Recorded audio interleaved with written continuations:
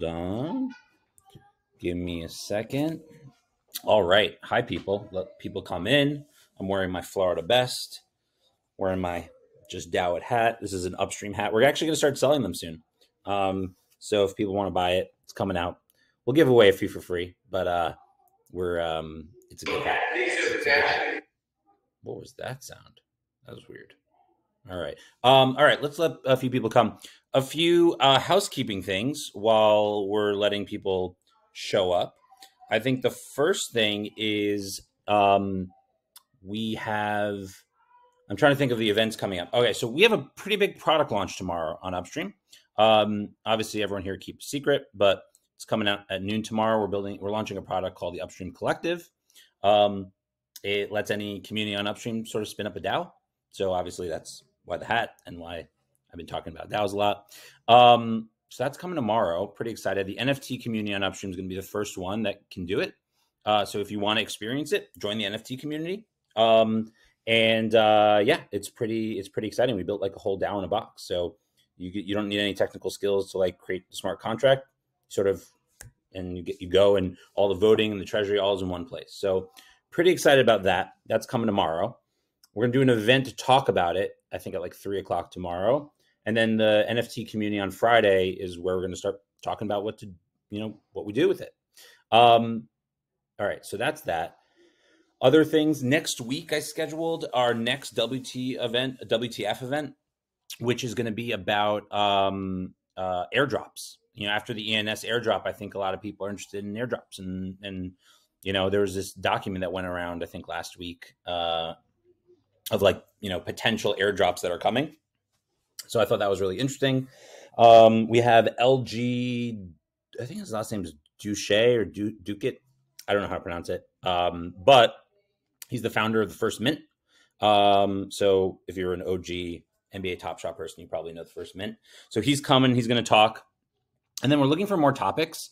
So any topic people like want to know more about, just send me here. You could add to the you know the comments here. You can message me directly. But if there's like a topic that you keep hearing and you're like, I have no idea what that is, and I'm too lazy to research it, come, we'll do it. I want more topics. So I have a, a long list of things we want to do, but I'm always uh, uh, willing to add more. Um, or if there's a topic we did and we didn't go deep enough, also send it to me. We'll, we'll go deeper.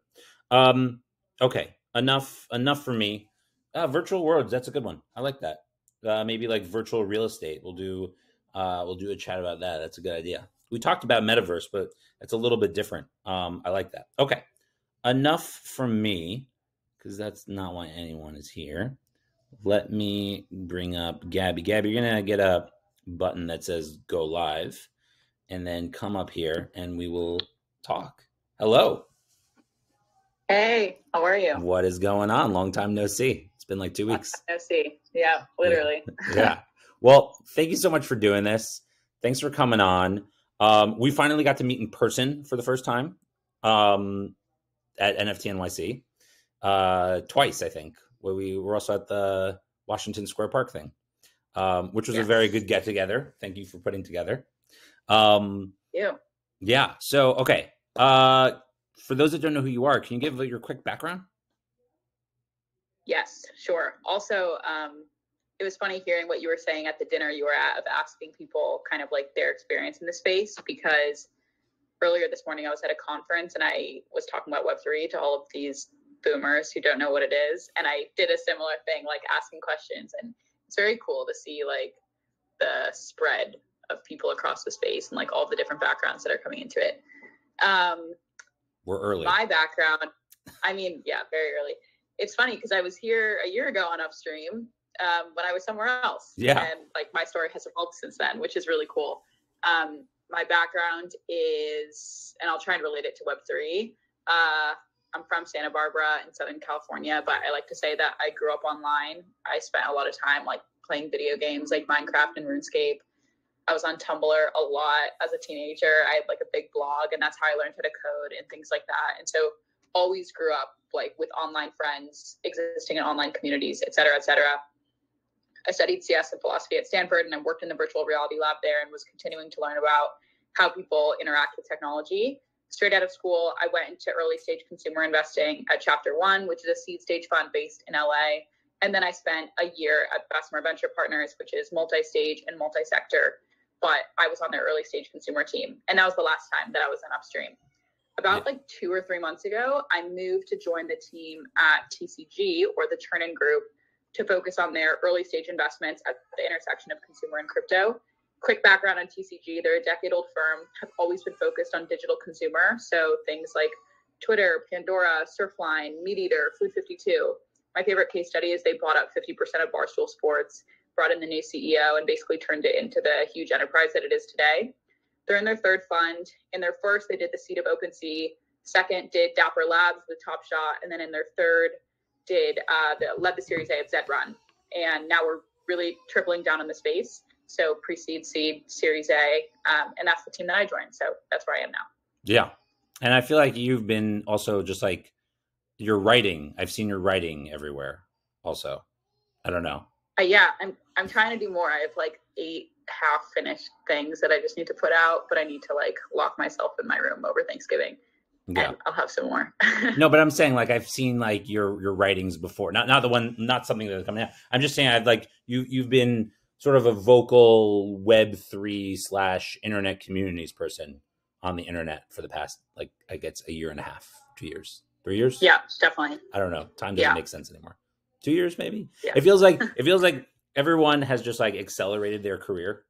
Like it doesn't take a long time to be an expert in like in web three.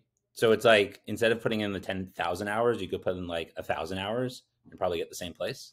Um Yeah. I, I will caveat though, like I'm definitely not an expert. I am new to the space. Um, and I can talk about like what got me into the space and why I decided to move into it full time. But I'm just learning, just like everyone else is. And I think if there's anything that I am good at, it's being a translator between Web two and Web three because I'm I am new to the space and I understand both sides quite intimately. And I obviously remember what it felt like to get into the space and like what the magic moments were, but also what the hard parts were. And so like those are the things that I try and focus on now. Yeah, but it's also like it's also that thing where it's like the job like for like a big corporation where it's like needs five years plus of like NFT experience. And it's like that doesn't exist. So yeah, like you yeah. know what I mean? It's like it's also one of those type of things where like, you know, you just you spend enough time here, you're you're you're you're an expert compared to someone who has no idea what this is. So um that's helpful. Okay, so we, let's talk about Web three a little bit. What before we go into what it means, are there any resources that you've read that like are better? Are there any like articles that someone can maybe drop into the comments that yeah, you, you would well, say like you got to start? I have a reading list that is literally called Gaby's Web3 reading list. I'll try and find the link. I do it on my phone. Um, I put it together selfishly, just trying to save the stuff that I loved to read. It's just like a Notion doc that I update almost every single day. Um, someone will someone will find it if you say if you say it. Someone can Google it and find it. Yeah. Oh, see, already there it done. Is. Oh, what's up, Robin? um, and so it's sorted. I, I have like stars on my favorite reads, like the things that resonated with me the most. But when I send it to people, I recommend they start from the bottom and work up because it's in chronological order that way. So the very first thing I have is the Ethereum white paper. And then as you move up, you kind of see how the space has evolved too, which I think is really interesting. Okay.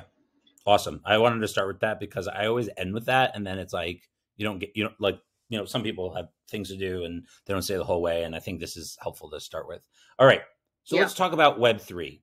What's Web one and Web two before we talk about Web three? Yes, yes, that's how I always start it. So um, basically, I, I have my spiel. So the rant is beginning now.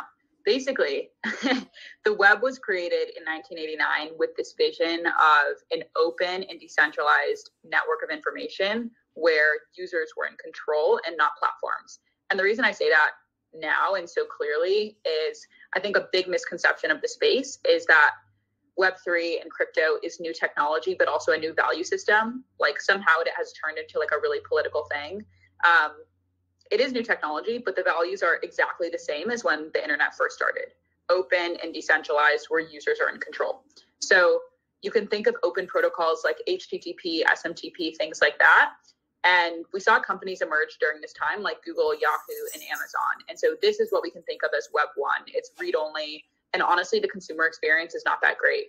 Yesterday, I saw this old talk from the Today Show in like 1990 of people trying to explain what the internet is. And they're like, it's like a computer billboard. And like, no one had any idea.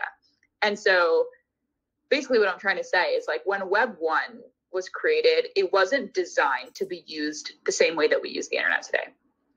Basically, what happened over the next couple decades, essentially until the present, is consumers migrated from the open services that I mentioned to more centralized ones just because they were more sophisticated and had a better consumer experience. And this is like the tricky part because I think the internet is the best invention of our century. And so it was really good when we moved from Web 1 to Web 2 because billions of people came onto the internet and got access to all of its technology. And like that's an amazing thing. But it's also hard because Web 2 or kind of like the platform economy is when we saw companies like Facebook and Instagram and like the big giants. And when you have platforms like that at the top, it becomes harder for individuals and groups and businesses to innovate and create new technology online without fear of those centralized platforms taking control. So it's got like pros and cons. And this is a problem that we still see today, but I think honestly, we've just grown so accustomed to it that we like ignore it. One problem that's a really good example is Apple continuing to, to take a 30% cut from all revenues that come through the App Store. Like 30% is insane.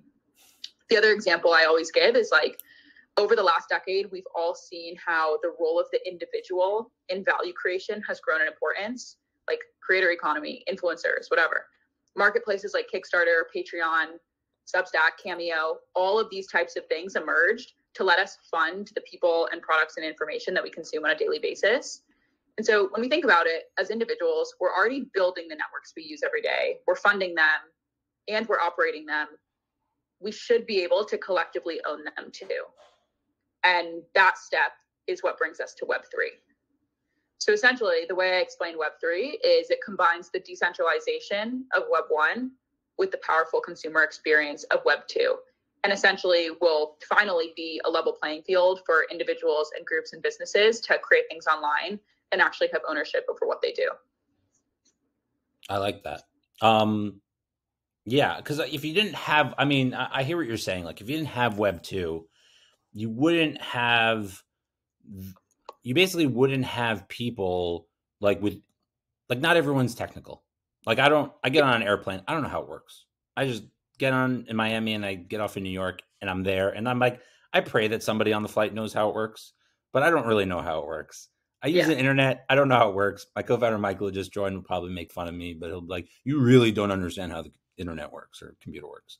Um, but that's the thing like web 2 was needed to some degree for people to basically like actually be able to access and and and, and use the internet um yep so w- what are the best like are, are the best parts of web 2 going to be the user experience and then the decentralized because i've always said that like you know for example the one way you could like hinder facebook and like you know make them take consumer like user concern seriously is if you made it really e- easy for people to port their graph anywhere. Like if I could just take mm. out all my friends and their emails and everything from Facebook and I can bring it anywhere, And then Facebook will start to take all that stuff serious. And until then, they know they have you locked in because you can't take your stuff anywhere. Um, I imagine decentralizing means like you own your stuff. I'm playing Fortnite and I have a car. I can take it into another world in another game and this and that, and I, I can take it any. I own all my stuff is that the big difference in the end of the day is like just the the ownership yeah i think a lot of it honestly we are not even going to realize on a day-to-day basis. Um, we are very very early and obviously i'm biased because i'm at a consumer fund but i think the most powerful applications of web3 will be the consumer experiences. And so my partner jared has this like analogy that i think is funny and it kind of connects like how we were in web 1 to where we are now where both stages were like very highly technical and the consumer experience wasn't good. Like, let's be honest, the consumer experience in Web3 is not good right now. MetaMask has a fundamental usability problem. I could go on. Um, but Jared's example is we don't go on Spotify and say, like, wow, thank God for AWS for powering Spotify. And now we can listen to the music we love. No, we just use Spotify. And I think the future of Web3 is going to be powered by crypto networks because it aligns incentives in a way that allows us to grow fa- faster and create more reliable networks that are more anti fragile. But it's not like we're going to be like, thank God for blockchain all the time.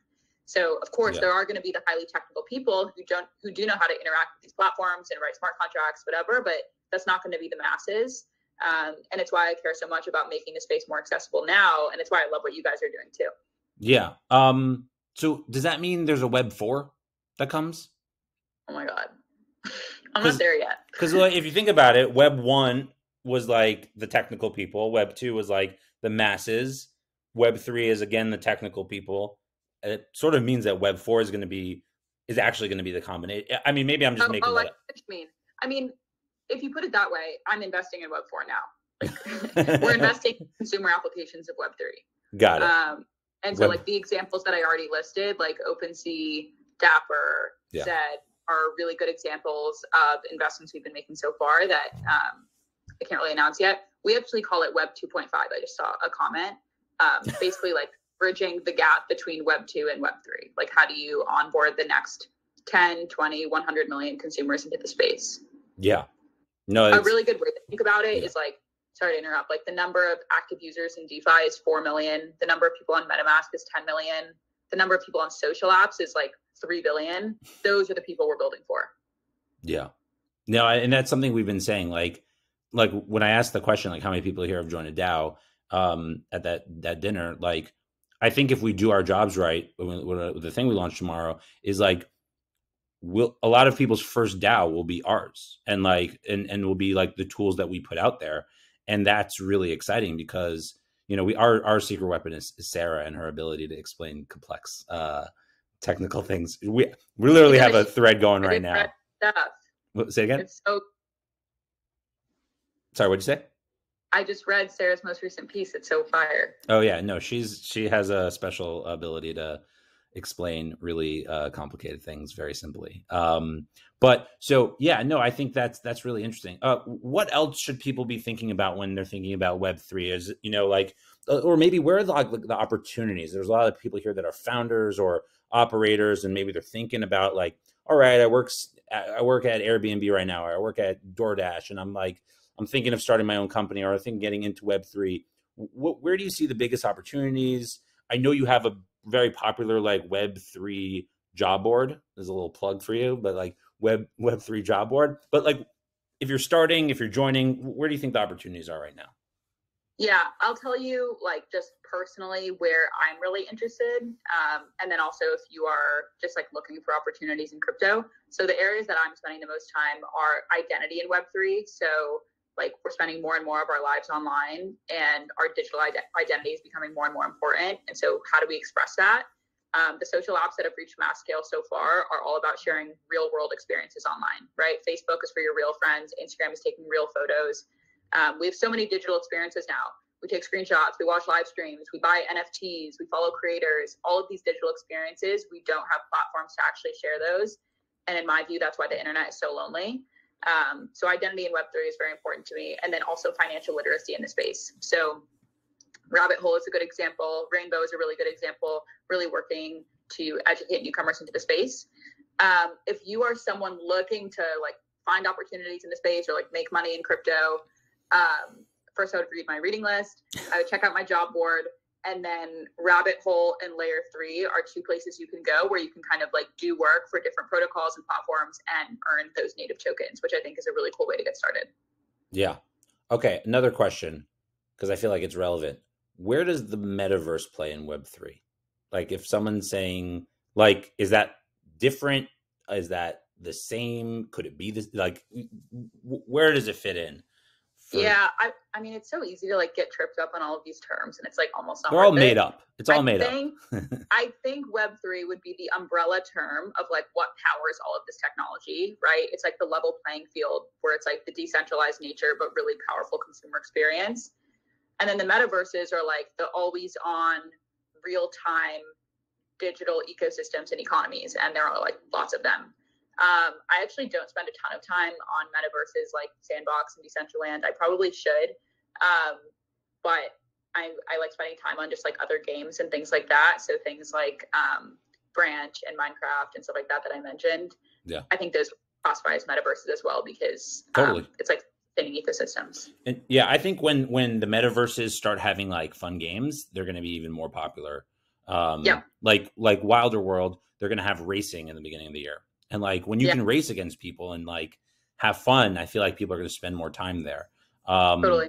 yeah no it's it's i mean this stuff is is just really fascinating in terms of like um like okay so do you right now obviously nfts are really hot do you think we're i mean obviously you're investing on this so i, I can guess your answer but do you think that um we're in like the first inning or like are we in a bubble because it feels like some days we're like that should not be worth that thing. Like that thing is not worth that pudgy penguin is not worth $20000 but at the same time it feels like wow there's so few people here.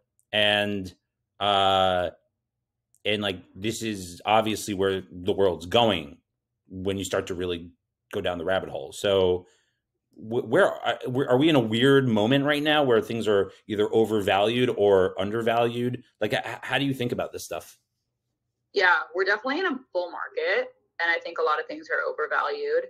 And my words of advice is like buy things you love, join DAOs you love, don't do anything because you think you're going to make a lot of money, especially as regulation starts to crack down. Like you probably won't make a lot of money.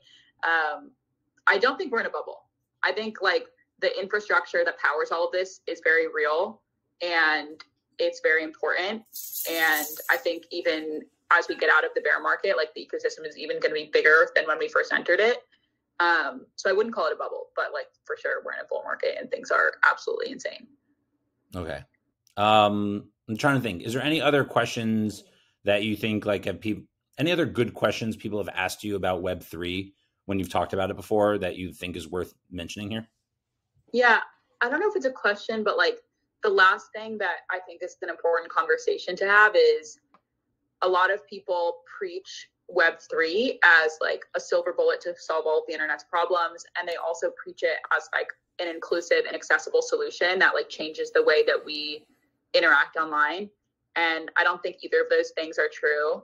Um, it does offer like decentralized systems do offer a much better approach than centralized ones and we're off to a really good start and that's why i'm so excited to be in this space but inclusivity and accessibility in the space is really really important and the last thing that i would want to do as like a voice in the space is create a whole new ecosystem that is like just as inclusive just as exclusive and like about money and wealth as the one we had before so I think the best way to like fight against that is to have conversations and bring folks into the space and make room for all different perspectives, like regardless of what background you're coming from or if you're technical or not. So um, there's a lot of people working on that. Kinjal Shah just posted this like amazing read about inclusivity in Web3 that I would definitely recommend reading. I think I just put it on my reading list. Let me check. yes, it's like second from the top. And that's like my recommended reading for the week because I think it's a really important conversation that we should be having more. Yeah, no, I like that. Um, I think, yeah, it's it's uh, it's definitely it's definitely tough. When I sometimes do like Zed horse giveaways, which I do uh, Friday, um, I breed because I have so many horses. I just breed them, and uh, sometimes I do giveaways. I sometimes make it like, hey, you, you have to never have had a horse, or you Yeah. are a female person in tech or person. Like I try to give it to people who you know. I try to like at least make the odds a little bit better in the favor, you know, Yeah. of the giveaway. Yeah. But um, okay, last question, and then we just have, uh, I believe, just one breakout. Um, and we just always try to, you know, so people meet each other.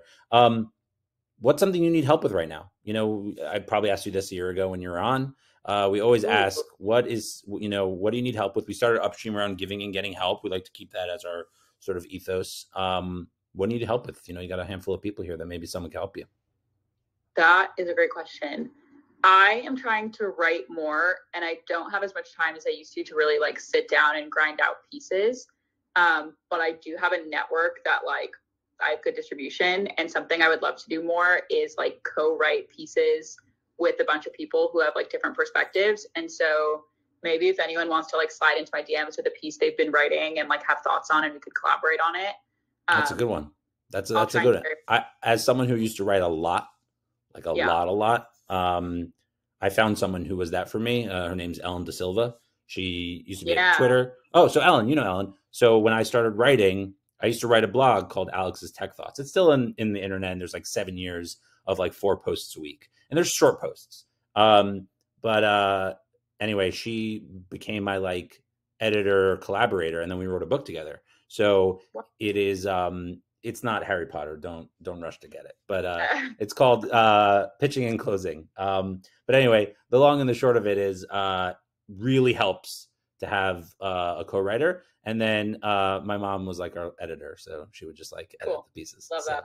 Yeah, I gotta do a little of that. Anyway, Gaby, thanks so much for doing this. That was awesome. I feel like I understand Web three a little bit more, just because you know a lot of these are me trying to learn more. Honestly, it's not for anyone else here. It's just me.